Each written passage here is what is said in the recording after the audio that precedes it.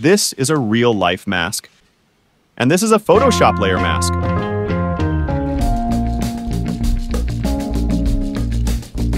Why do we have to use the layer mask in Photoshop? For example, I want to make the color of this flower more vivid and put it into a circle. I could use hue and saturation to change the color first. Then, use the elliptical marquee tool to cut out a circular. Delete the rest of the image. This is an easy way to get the result, right? But what if all of a sudden I want to change the color of the flower back? encircling another flower instead, at this time, you will find that the color and the cut off parts of the image cannot be returned. Going back and forward is so normal in Photoshop.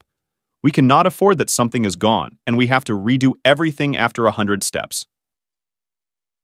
Good use of the layer mask can definitely be helpful. It can help you mask the image, show what you want, and hide what you don't without deleting the original data. So you can remask it anytime. Let's go through how to use a layer mask in Photoshop. White for show and black for hide. For example, we have an image here. We can select the image in the Layers panel and click Add Layer Mask. A white image will appear next to the thumbnail. This is the layer mask. What we need to always remember is white for show. Now everything in the layer mask is white, so everything shows. And if you use any tool to make something black in the layer mask, black for hide. You will hide the images. We can try any selection tool and fill in black, or use the brush tool to draw some black lines. All black parts will be masked and hidden. What's good is if you unlink the image and layer mask, move the image around. You will still be able to find that the original content of the images this is the advantage of using a layer mask. You can drag the layer mask into the trash can in the Layers panel to delete it. Here we can click Delete and continue with the next example. Continue to select the image layer, then click Add Layer Mask while holding Option key or Alt key. We will find that this time the total layer mask is black and the entire image is hidden. Again, remember this. Black for hide. This time we can use any tool to fill this black layer with white.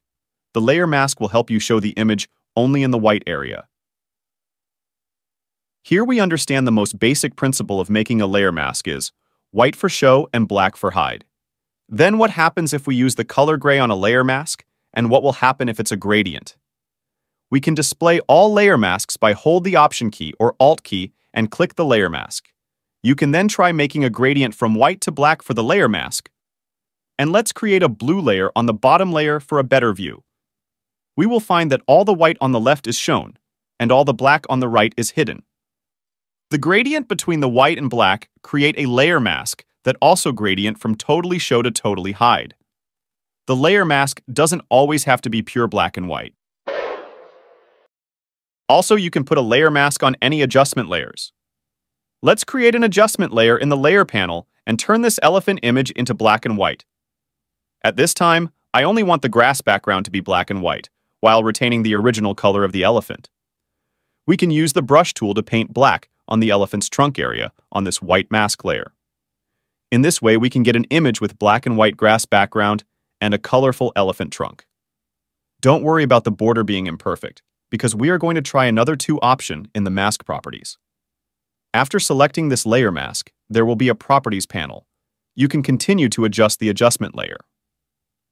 Or you can click the mask icon to adjust the layer mask again. The most commonly used one is that you can pull and drag a feather to change the feathering of the mask. Also, if you want the whole adjustment layer a little bit transparent, you can try changing the density to get that results. That's for today's video, thanks for watching. In this series of videos, we will go through everything in Photoshop in a most simple and clear way and also try our best to answer everything in the comment to help.